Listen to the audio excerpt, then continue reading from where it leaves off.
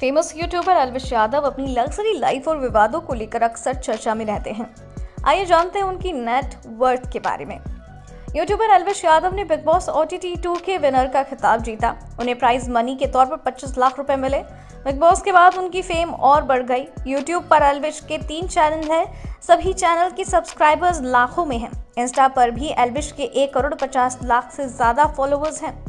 Elvish Yadav social work भी करते हैं। वो एलविश यादव फाउंडेशन नाग से एनजीओ चलाते हैं। इससे वो गरीब बच्चों की पढ़ाई में मदद करते हैं। एलविश यादव का एक क्लोथिंग ब्रांड भी है, जिसका नाम है सिस्टम क्लोथिंग इससे भी वो खूब कमाई करते हैं। एलविश यादव के कार कलेक्शन में एक पॉइंट इकतालीस करोड़ की Porsche seven one eight Boxster भी है।